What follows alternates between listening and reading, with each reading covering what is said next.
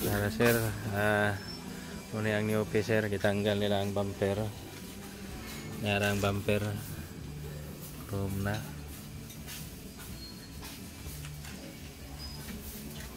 Tanggal ang bumper. Ongoing pa di ang kuan ni sir, conversion pero sakto-sakto ni sir pagka nanay approval. Ma okay na ang kuan ni. Tapos na ni convert.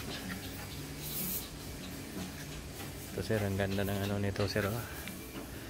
Ang mga bisagra niya. Stainless rubber tanki. Stainless pantangke. Ayan o, bisagra o. Stainless na bisagra sir. Stainless pa yung tangke sir o. Ang ganda nito.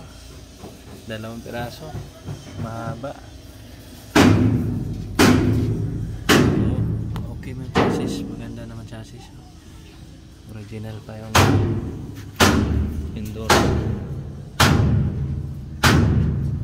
Ayan. Ganda ng chassis. Guys. Magandang chassis guys. Wheeler 670. Stainless na yung tanke. Yan. Stainless na yung takip. Ito yata na side grill no? Ganito. Ah. ito guys. Maganda. Yung flooring maganda pa din. Ayan o. Maganda yung loob. Ayan, maganda yung wing van. May mga, may mga, Ah, okay lang. Alam na nila yan kasi ginagawa yung truck eh. ito, ginawa mo ng... may pa. Ah, ito guys, ginagawa mo na nilang bahay habang ginagawa din yung pag-convert po. Ginagawa mo ng bahay. Ah, kasi yung mga nakatira dito, yung nagko-convert din, dito na rin sila natutulog. Malayo yung ano nila, Malayo yung bahay. bahay. Ito sila, may mga bata, ayan, dito na sila nagluluto, ayan. Kami. Kami.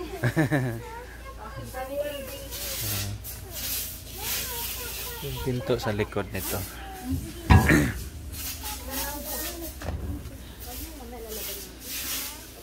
ah, ito maganda yung likod. Stainless na rin yung frame. Pati mga lock. Yan, maganda.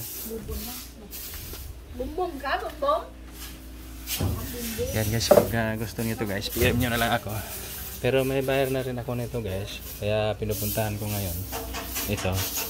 Kasi gusto niya mapabidyo yung chassis kung okay ba. Yan. Ongoing convert pa to guys. Mga one week from now. Okay na tong conversion nito. Kasi bagong dating lang to galing ng Japan. Ayan, new piece na 6M70.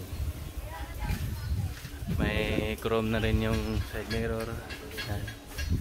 May cover na na chrome. Ayan. Ito na sir, Lare. Ito na yung unit na pinakita ko sa'yo.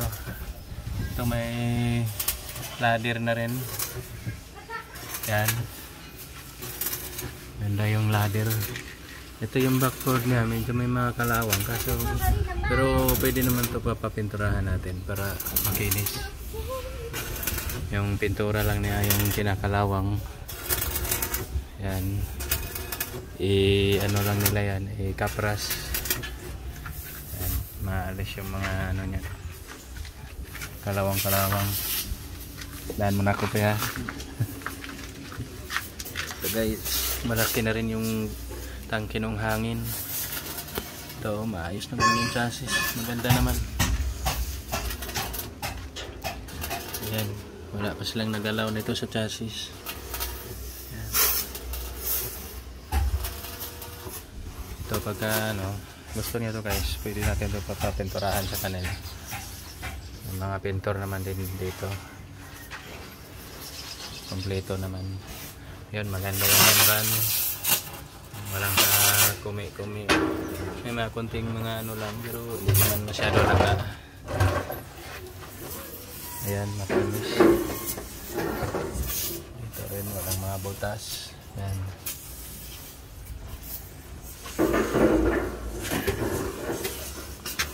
Yung airbag nito. Ayan ito yung hanap mo sir oh. ayan. Yung airbag na nakasangga sa muli maganda yung gawa nito. Maganda yung ano nito guys kasi maganda to mag ano sa lubak. Ito. Yan malaki yung airbag oh. sobrang laki. Yan may mga kunting kalawang lang dito banda sa chassis guys pero yan pag uh, inaano yan papalinis natin yan. Sa pintura lang naman yung original na pintura sa Japan kinain ng kalawang yan. yan ito yung hinanap ni Sir Rale, Rala- Alare yan. ito nakasangga sa mulyo yung ano airbag maganda to mag ano laro ng sa lubak yan malalaki yung mga airbag Ayan. Stainless na rin yung ano guys oh. Yung ganyang toolbox.